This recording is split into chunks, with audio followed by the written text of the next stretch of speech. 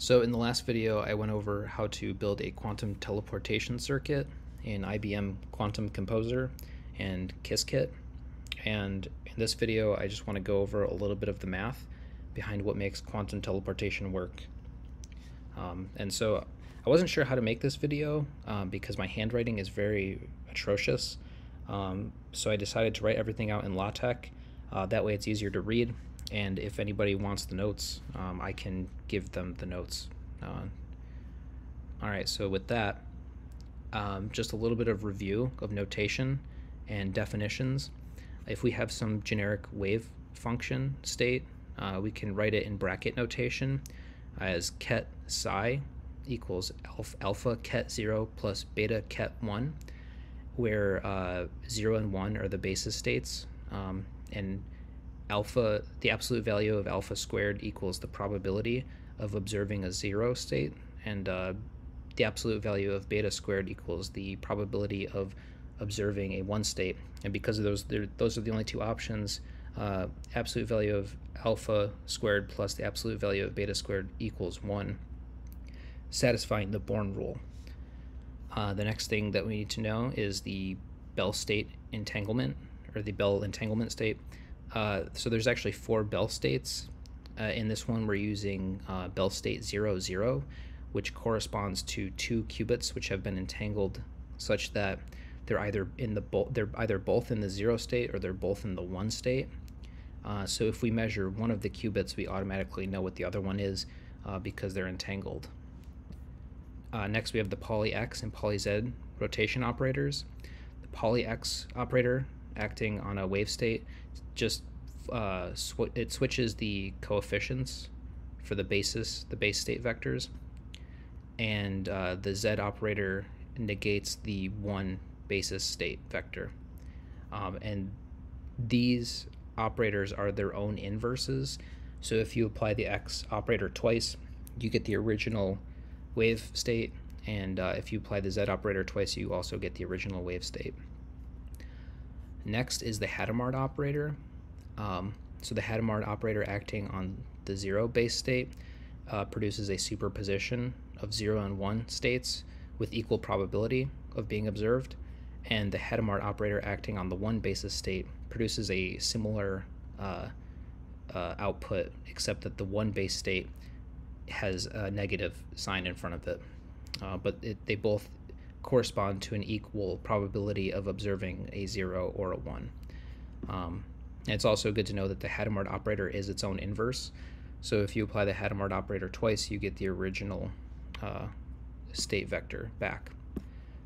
Okay, so next, when we have multi-qubit systems, uh, such as this one, the way we write that uh, to represent the entire system is a tensor product of the individual qubits. So for example, if we have a qubit in state 0 and in state 1, uh, uh, if, we have two qubits, one in 0 and one in 1, uh, the tensor product would look like this, and the overall system of the, the 0, 1 ket could be represented as this vector form.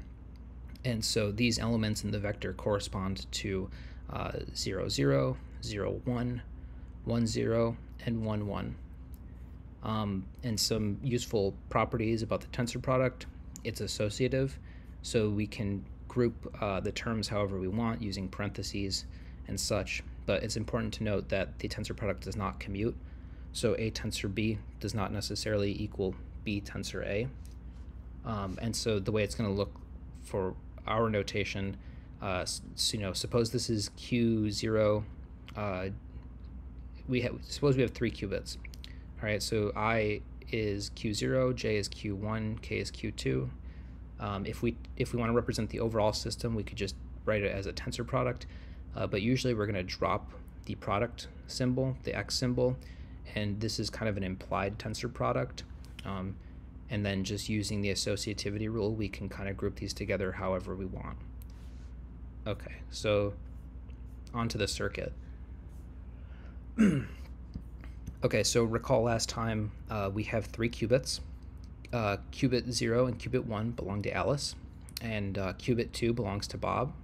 And the way that this works is Alice wants to send this qubit 0 to Bob, and she does that by sending it through qubit 1 and because qubit 1 is entangled with qubit 2 uh, Bob will get it uh, on qubit 2 um, and qubit 1 and qubit 2 are entangled in the Bell state so we have some initial wave function for the entire system uh, psi 0 which is just going to be equal to the tensor product of psi this is qubit 0 and the, in the qubits uh, 1 and 2 respectively so by convention um, we're reading left to right. So this would be qubit 0, and this would be qubit 1 and qubit 2.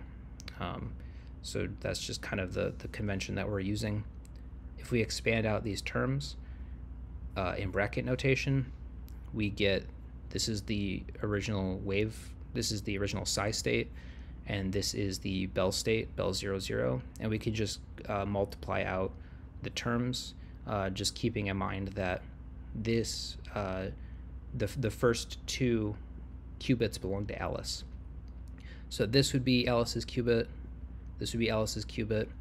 Um, this would be Bob's qubit. Uh, this would be Alice's qubit. This is Bob's qubit, uh, and so on. This is Alice's qubit. Alice's, Bob's, Alice, and Bob's. So Bob's qubit is all the way on the right. So the first thing we do is we apply a controlled NOT, which flips Q1 uh, when Q0 is in the one basis state. Um, the way that looks is um, so when Q0 is in the one state, so this term here, we're going to flip Q1.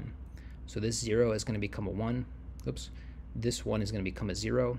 And nothing's going to happen over here because Q0 is not in a 1 base state. So when we when we do that bit flip, we get something that looks pretty much the same, except uh, this is now a 1 and this is now a 0. The next thing we do is we apply Hadamard operator to Q0. Uh, remember that's the that's the qubit all the way on the left. So just substituting in the uh, equations for the Hadamard, uh, this 0 state becomes a superposition of 0 and 1. Uh, and I've pulled out the 1 over square root 2 out in front, so now we now have a 1 half out in front. Uh, and then also the Hadamard applied to this 1 base state gives 0 minus 1 uh, basis states. So that's pretty much uh, all we did there. Uh, we can rearrange these terms uh, to get uh, a little bit more clear of an idea what's going on. Um, basically what I did was I pulled out Alice's qubits out in front and left Bob's qubit in parentheses, so that's how they're factored. And again, we just did that based on the associativity property of uh, tensor product, which is just if you if you have something here, uh, you can just pull out this qubit one and group it with qubit zero, uh, which is exactly what we've done, and that leaves uh, Bob's qubits uh, in the parentheses uh, by themselves. And the reason that we do this is because basically what's going to happen is Alice could measure, when Alice measures uh, qubit 0 and qubit 1, uh, she's going to get one of four different measurements. If she measures 0, 0, uh, then Bob will get this uh, wave state, which is the correct wave state. That's, that's the wave state that he wants. But if Alice measures a 0 and a 1, Bob's wave state is going to have the coefficients swapped. So he needs to apply a Pauli X operator to swap them back. And uh, if Alice measures a 1 and a 0, then uh, Bob needs to apply a Pauli Z operator to flip the uh, 1 state vector to a positive sign. And if Alice measures a 1 and a 1, then Bob needs to apply both a uh, Pauli X rotation followed by a Pauli Z rotation. Um, so basically we need to, based on Alice's measurements, we need to relay that uh, information to Bob so that he knows the correct post uh, operations to apply on Q2 to get the desired wave function. And again, this is just kind of the same thing, um, but it's written out in matrix form. So if Alice measures a 0, 0, then Bob has the correct qubit state.